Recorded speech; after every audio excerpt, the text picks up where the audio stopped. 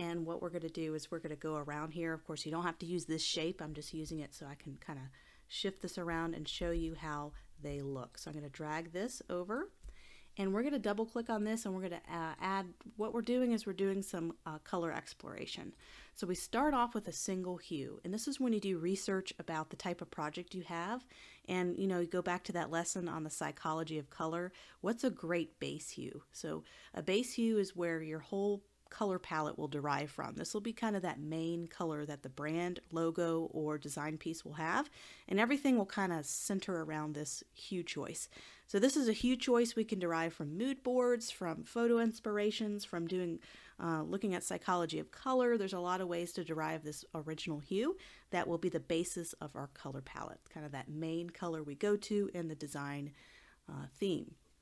So what we're going to do is we have this, we made a copy. We're going to double click this and we're going to work around this color. So we're going to create different shades, tints, tones, and uh, maybe some varieties of hues that are very close by on the color wheel to kind of see what we can do to explore and expand this base hue further to get some other different types of secondary colors for our design piece.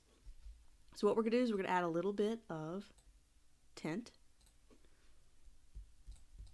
drag. You don't have to do it in particular this shape or this is just kind of something that helps me visually, the kind of honeycomb shape. And I'm just taking the original hue and just adding gray, white, or black. Just different varieties, different levels. You can even go darker if you want to kind of get a really nice dark version of the same color. You can also go very light and you don't have to be stuck just doing tints and shades. What you could do is you can add a little gray. You can have a little bit of tint, a little bit of uh, a little bit of tone. You can select anywhere along this entire hue cube to get a variety of colors that you can derive from. This one a little bit darker. So just kind of seeing all the wide variety of different blues all from that single hue, just adding a little bit of those colors to it to kind of get a little bit of variety, a little bit of different shades that can all be part of a color palette. And so let's talk about color palettes for a little bit. What is the key to strong color palettes? Color palettes usually have a variety of different colors, but they also have different types of shades and tints in them from a single color. So if I were to have pure hues um, let's say I picked five pure hues for a color palette. They're all very super vibrant and super strong, but in some cases where as a designer I need to have a lighter background, I need to have a darker background, I need to have some kind of option, you don't have a lot of flexibility when you have five very strong pure hue colors that are competing against each other. So it's nice to have the, a base hue but also some varieties of shades and tints of that hue so that in case I needed a lighter color or a neutral color of that hue, I have it.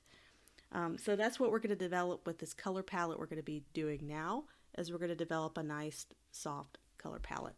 So what I'm going to do is I'm going to get this strong purple hue right here up here at the top. This is a pure purple hue. What I like to do is uh, go ahead and bring it to the left and let's just add a little variation of it just like this and a little bit of a darker version. And what's nice about this, let's go ahead and do it even darker here, like a real dark, almost black purple, but still has a little hint of purple. And let's do the same thing. Let's get some neutral light colors, just adding a little bit of white. Kind of now off-white over here. And what's great about this is I have kind of our base hue, but I have all this variety here.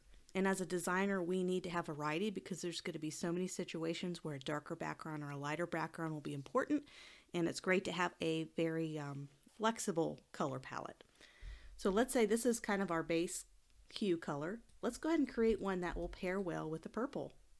And so this is where we talk a little bit about contrast. So right now, this is a pretty bright, vivid color. And so one of the highest contrast things you can do with a pairing color palette, so we're finding that second kind of uh, color main color for a color palette. Let's say we go to the color wheel, and I'm just going to go over to color.adobe.com, which is a great website for finding hues and colors, and I'm going to grab, go ahead and double click my swatch here, I'm going to get this hex code down here, And I'm just going to copy this and paste it over. You don't have to worry about the technical side. We're just focusing on theory. I'm putting that in here so I can show you what is the opposite of the color wheel, wheel of purple. So the opposite is going to be, let's go ahead and get this pink color. So I'm going to go ahead and select that as our base color by selecting this little triangle. And now I can select over here and it won't move. That base color is stuck. So let's find what is the opposite of the color. It's going to be yellow. And so that's going to be the highest contrast that you can have between two colors is the opposite on the color wheel. What if we were to slide this over and just add a little hint of warmness to it? We're going to get some really nice color combinations here. So you see kind of that purple and you see that uh, orange go really well together. So this is a very vibrant, high contrast color combo. So I'm going to bring that orange over here and let's see what we can do. So I'm just pasting that hex co color code there. Let's get rid of these. Let's do the same thing we did before by creating a couple different variations by so now this is our two base hues, and these are just different variations of shades that we can use for our color palette.